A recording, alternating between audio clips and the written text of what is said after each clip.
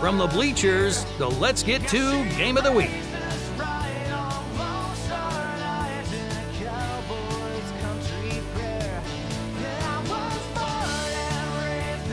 There's an old joke never ask a man where he's from. If he's from Texas, he'll tell you. And if he's not, don't embarrass him. That's one thing about people in Texas. We love our state. We're proud of it. We fly the flag. And sometimes we wear it on our sleeves. And sometimes that sleeve is a baseball jersey. And when you live in Austin, Texas, we rarely miss the opportunity for the hour long drive south to San Antonio. It's a city steeped in history, tradition, and in some ways, it is the very heartbeat of what it means to be a Texan. The heart of baseball history beats here too. Since 1888, baseball has thrived in this town, and for the majority of that time, baseball fans in San Antonio were San Antonio Missions fans. And today, the beat from deep in the heart of Texas baseball, as it has been for the last few decades, is at Nelson Wolff Municipal Stadium. Affectionately known as the Wolff, it is the home of the San Antonio Missions of the Texas League. Yeah, we're not calling it that other thing.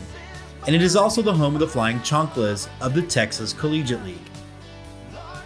The Wolff is a wide open ballpark that feels like a fiesta before and during the game. One of my favorite parts of the ballpark is its location, surrounded by some of the best Americans out there, our military, both Army and Air Force. It is not uncommon to see active duty servicemen and women at the game in uniform and sometimes big Air Force jets flying overhead. The Missions are a team that keeps a grasp on its history, not just in the fact that they've existed for over 130 years, but an eye on the greats that have played for this city. Greats like Mike Piazza, Adrian Beltre, Billy Williams, Brooks Robinson, and Dennis Eckersley. The breadth of the impact of the city of San Antonio on baseball's history can be found on the stone monument located on the concourse. But remember, I said a missions game is a fiesta, and so it's all about good food and good fun.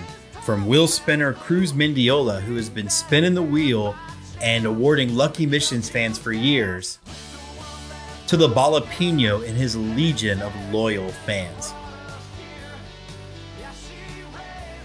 You might even find a baseball show host who can't stop playing air guitar, especially when Far Behind by Candlebox comes on the ballpark. But what makes baseball special will always be the people you see it with especially those people you've been away from since the start of the pandemic.